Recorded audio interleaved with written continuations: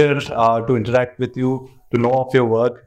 And uh, thank you for taking time out on a, on a significant day for you. Too. Uh, it happens to be uh, her mother's birthday as well. Uh, so it really means a lot that uh, you're here with us today. and you know, today what we see here is familiar faces from the fintech community. primarily, you know, we, we have an audience consisting of bankers, investors, fintech founders, and uh, FinTech Mixer uh, as a platform has been conceptualized uh, to give the platform for some of these fintech founders uh, to get connected with banks and uh, financial uh, services institutions in order to scale their business. first of all, a very warm welcome. And without further ado, we can get started with uncovering your journey. of course, I did read a lot about you even prior to the fireside a very inspiring story of how uh, you went to the US, you worked in the financial services space, uh, and felt that there is an opportunity or a problem to be solved for India at population scale. Uh, and you pioneered MobiKwik at a time uh, when uh, the internet penetration was just taking off. Uh, to, to kind of adventure or venture out into times when it is early in the market and you know sort of really scale it to the place where you are today. I'm sure it must have been a very very fascinating journey. Uh, first question to you would be on uh, if as an entrepreneur you could have done 100 different things. Uh, why did you choose fintech? And uh, how did you start your journey? Thank you. Thank you so much for having me here, uh.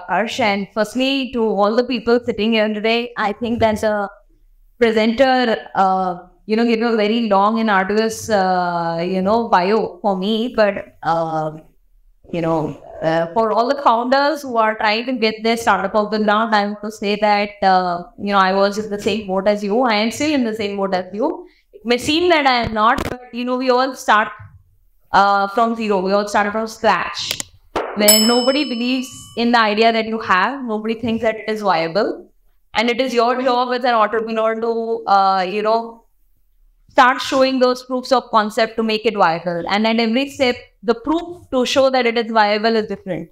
Uh, so firstly, I just wanted to say that because uh, uh, for people who are just getting started, it might seem that uh, seems a very lengthy road away. But I think if you have conviction and if you really have a great idea, you can make it happen.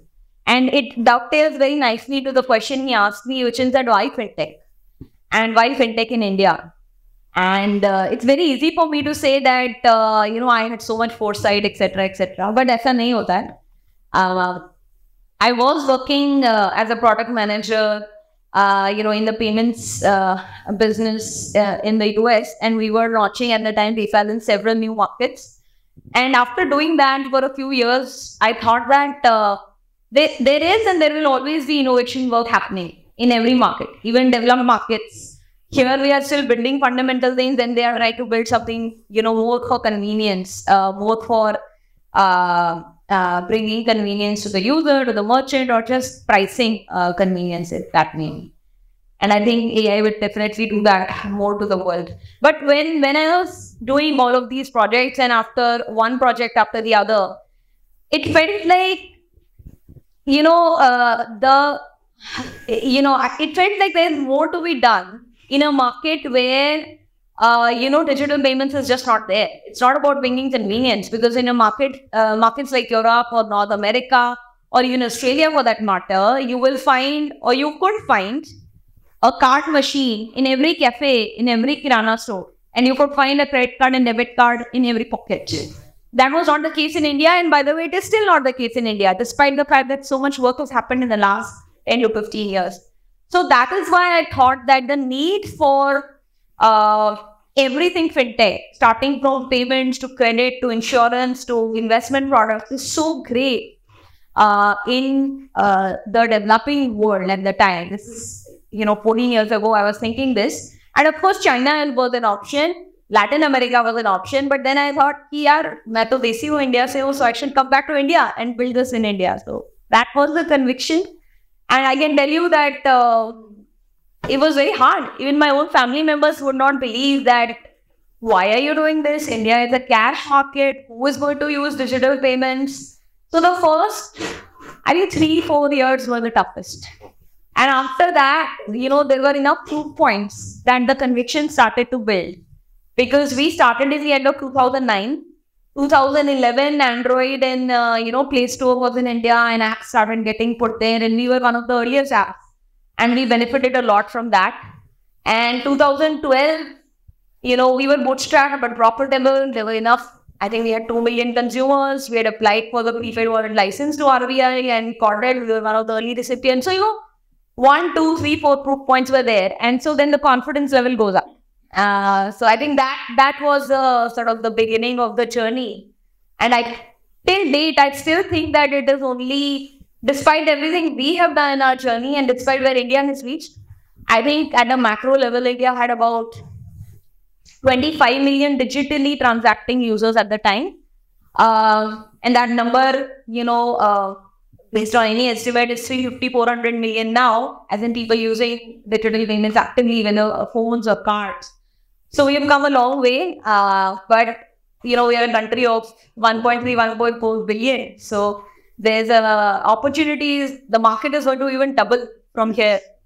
And uh, within fintech, payments is the least common denominator. Payments is what we reach first, but everything else is behind it. Credit is behind it, investing is behind it, insurance is behind it.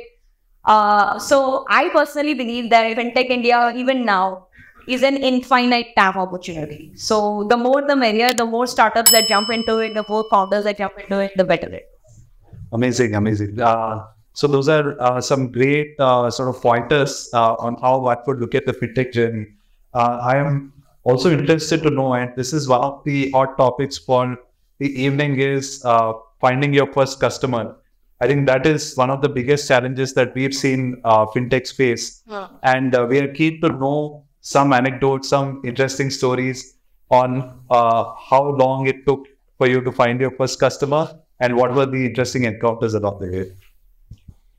So see, our so MobiKwik's journey we have evolved since where we started and where we are today, but we started as a digital wallet on a website on day one. So the consumer we got on first day. People came organically, not hundreds or thousands, but few people came. I don't remember the exact uh, number, but it was definitely more than 10, 20 customers who came and registered and created an account. And we were like, ये कौन लोग हैं मतलब unknown website है आज ही डाली है ना आपके अकाउंट भी बना रहे हैं वेरिफिकेशन भी कर रहे हैं पैसे भी डाल रहे हैं like I was just like, you know, uh, quite excited uh, by that uh, prospect. So any consumer was easy, but in our business, uh, you know, the largest and the important, most important partner in building a digital payments business is a bank.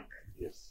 So for us, getting a partner bank, as you know, in our supply chain, uh, that's how the money moves, was the most important thing for us. And we were trying to get a direct payment gateway integration with a bank instead of going via, uh, you know, uh, third-party payment companies, which we had tied up. We had tied up with CCAvenue and EBS and BillDesk at the time, but we wanted to go direct to a bank so that we could get uh, better success rates, etc.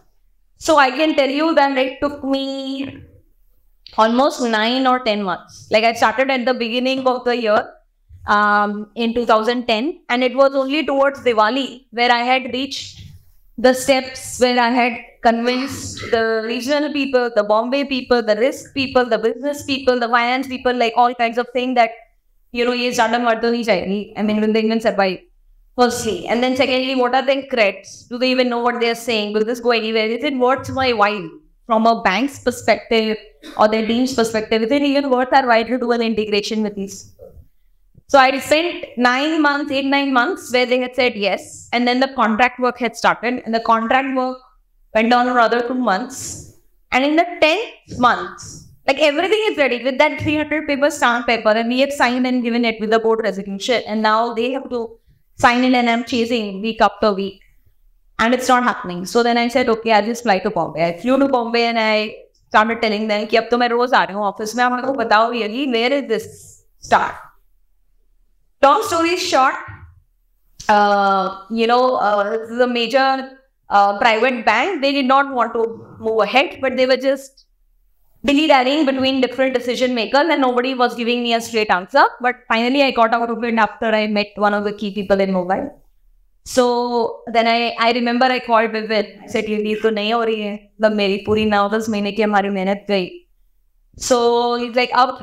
I said, uh, it's okay. I've made up my mind. I'm not coming back to Delhi until I'm done with this. So, and you know, we are raised here at uh, Delhi Gurgaon. So I just stayed put and I said next year onwards I started going to all the other private banks who we had spoken with, but we were now not uh, doing enough legwork with because we knew that we had one D. So that is my biggest uh, mistake and learning that you should never give up on your plan B and plan C and keep chasing it. But I'm happy to tell you that the deal that we eventually did was the largest private bank in the country at the time and even now. And that deal happened. I mean, the deal was, the discussion happened in two straight days. I mean, I think I got the answer from one bank on Tuesday. And uh, Friday, the deal was verbally closed. I shook hands and then flew back on the weekend. And then all the paperwork and everything happened. And in 15 days, the contract was signed and the integration had started. So that is my learning not to give up. And uh, but yeah, chase multiple threads. The first one can take time, but you make so many mistakes in that that you will do better in the second and the third one. Yes. Uh, amazing uh, story, Upasana. And I did uh, read somewhere that it almost took about a year to sort of find uh, the first major bank partnership, so to say. I think at RBI, the mandate is uh, more to uh, reduce the friction between fintechs and the banks so that they're able to work together more effectively. And you know what you bring to light is uh, a journey that has transitioned over time, and I'm very sure that uh, the product in itself would have gone through many changes. Uh, I'm sure, by and large, your your mandate is being met, and I also read that there's a lot of financial inclusion agenda that you have at MobiKwik. so would like to know from your uh, side in terms of what it took to iterate the product. How were you trying to ensure that you are con- consistently relevant in the market over so many years?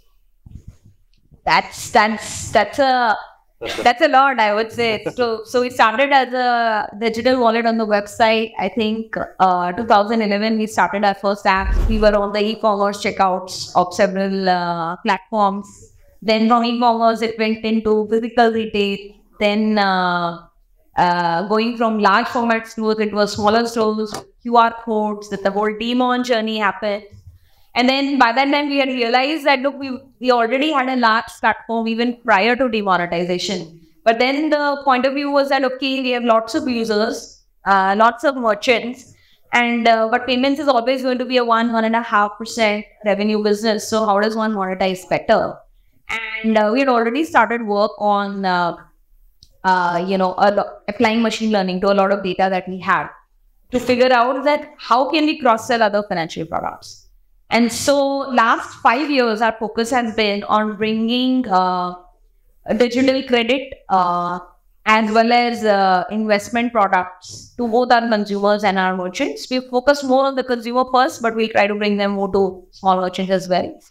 And uh, while there are a lot of players and fintech market in India is always, um, you know, uh, two different players trying to go after different strata of the society. We are very focused on, uh, you know, the Bharat, the middle India, which is uh, an average Indian making 25 to 50,000 rupees per month in earnings, mostly self-employed and uh, mostly living in the tier 2, tier 3, tier 4 and 5 cities and towns of India.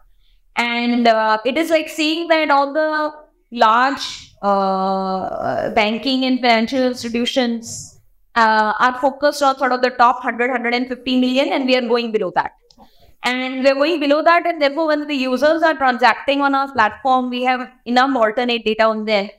Uh, then we are able to start give them their first experience of credit and then similarly first experience of investing also. Our users are not as savvy that they can you know directly go to a Zerodha or invest uh, or any other platform and you know not as savvy also as users of uh, you know digital lending platforms only where you have to give a lot of information to get a loan so most of our users are such that uh, they've done a KYC with us uh, for using our payments app.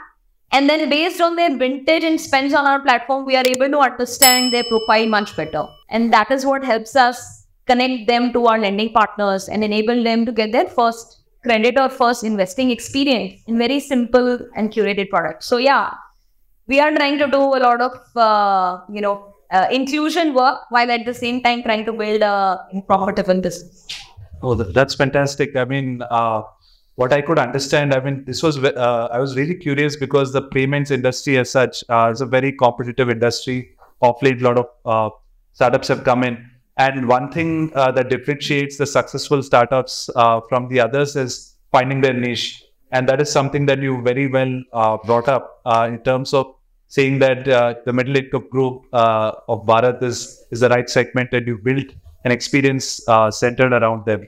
Uh, I uh, on this note, I would like to sort of uh, understand what is the tipping point for a fintech, you know, to from being just able to find their first five or ten customers to be able to scale to the level that you have done today uh, I'm sure both from a fundraising perspective and from a customer acquisition perspective, uh, as founders, you know that you you're going to reach the next orbit.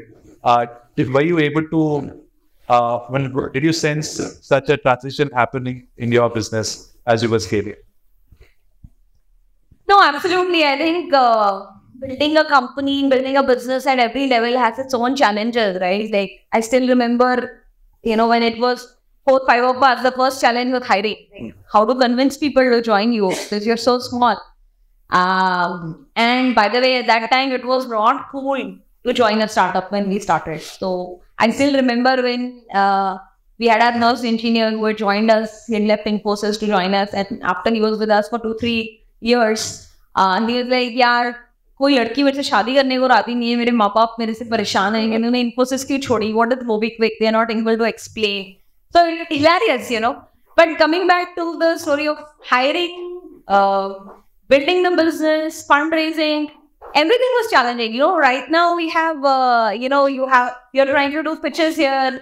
Uh, we have so many seed funds, accelerators, angel investors. The ecosystem is far more evolved in 2023 as opposed to uh, you know, 2009, 2010, uh, when we uh, started. So I feel almost like a dinosaur now from that perspective.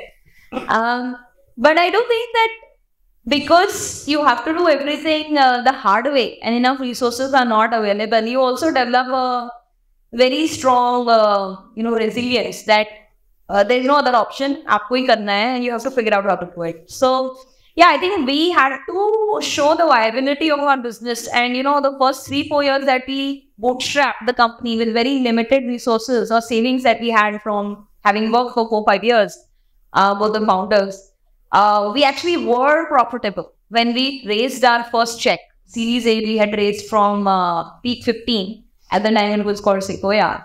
Uh, we were profitable. We had some two, two and a half million users. We had the license, and that's how the first check happened.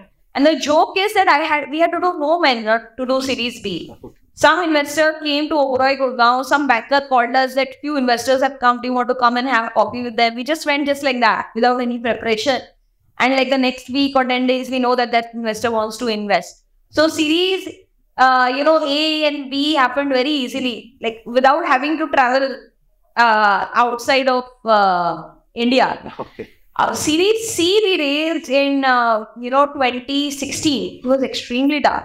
We, and we didn't know that it would be so tough, but it became extremely tough because uh, you know there was a down in the internet market. So it was difficult because uh, I knew that Vipin was traveling all over the world trying to raise money, and uh, the market was not good.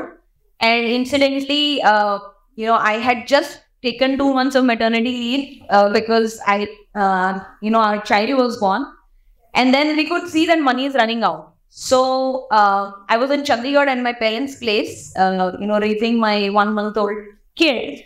And I was, and so at that time I have done virtual calls. And since we have bankers here, I'm very happy to tell you I raised our first debt ever uh, as an unprofitable fintech. Uh, that too from ICICI Bank.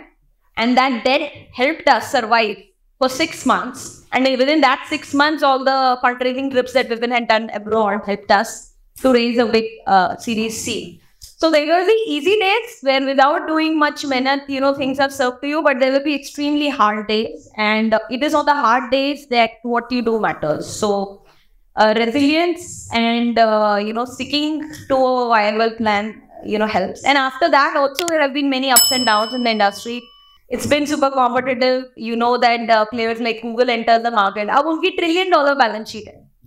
How can you compete with that? You can't compete with that. So what do you do? You run away, you shut shop? No, you find a differentiated value proposition that you know that a large global, which has a lot of money, will not go into.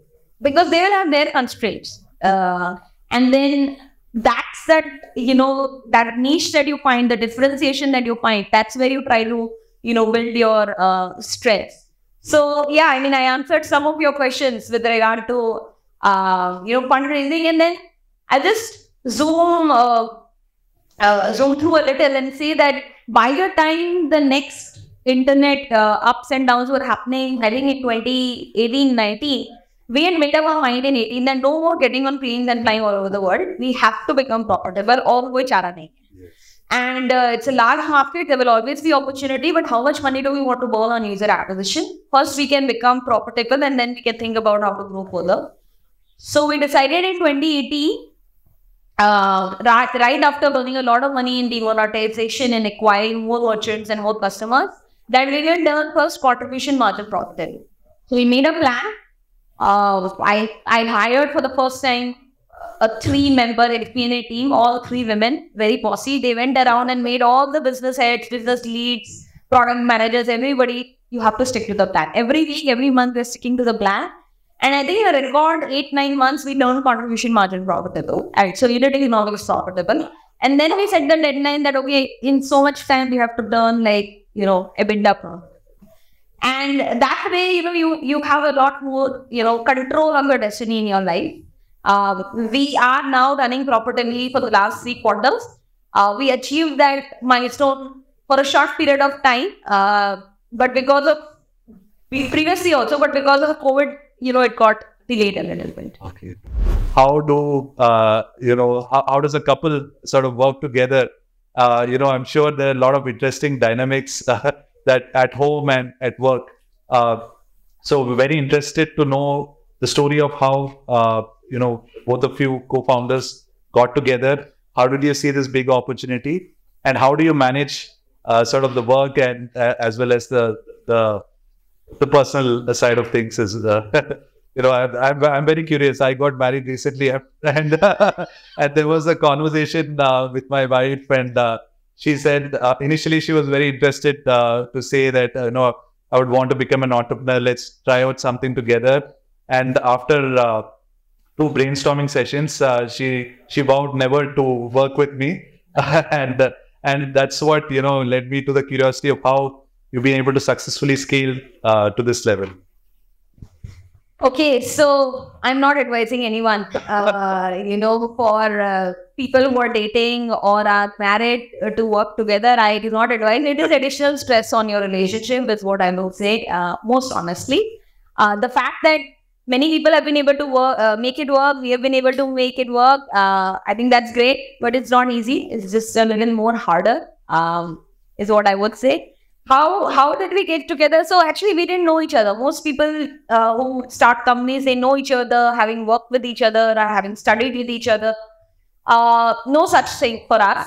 Uh, right after my btech i had gone abroad to study and then i pursued my professional career there so when i moved back to india i actually had no uh, you know professional connects especially not in delhi ncr because i studied in jalandhar and uh, I uh, studied prior to that in Gujarat. So uh, most of the people I knew uh, were either working in uh, Bangalore or Bombay, but not so much over here.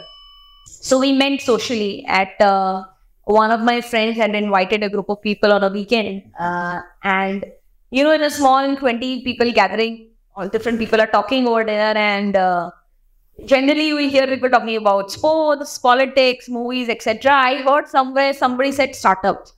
He called startup bol Then I found I went towards the corner and I said, Hey, I'm also uh, looking at doing a startup. So that's sort of how we got talking.